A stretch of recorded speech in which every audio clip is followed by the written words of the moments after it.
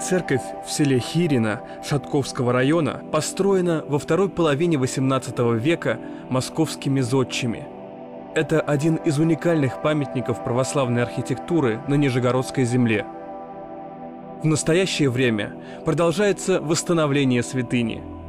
Прошлой осенью владыка Георгий осветил главный престол храма в честь усекновения главы Иоанна Предтечи – 13 сентября 2014 года правящий архиерей возглавил богослужение в верхнем пределе церкви. Как и 200 лет назад, он был освящен в честь иконы Божией Матери «Живоносный источник». Помолим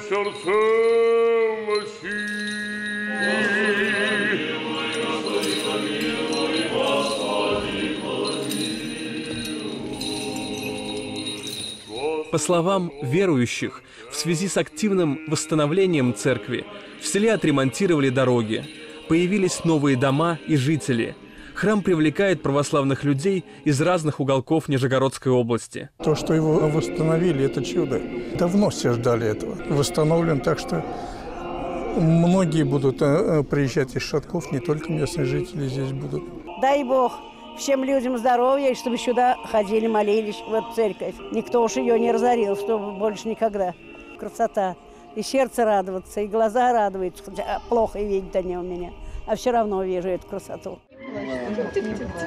Василий Иванович Муратов – один из строителей предтеченского храма в селе Хирина. Родным очень важно, что он участвовал в возрождении православной святыни. Сам Василий Иванович за время работы успел полюбить эту церковь. В прошлом году он крестил здесь внука. Красивая церковь, свой труд. Большинство, наверное, возрождается вот эти храмы для людей, для, для, себя, для внука, внука, для себя, конечно, да. такая красота, да и народ приветствует это. Да. Все, наверное, это для блага народа.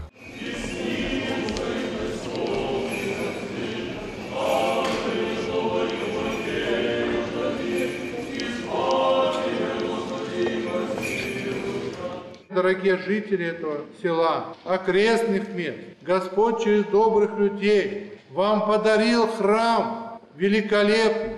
И в городе немногие храмы имеют такое благолепие, как здесь у вас в селе. Дорожите этим и помните, что Господь ждет вас на пути вашего спасения.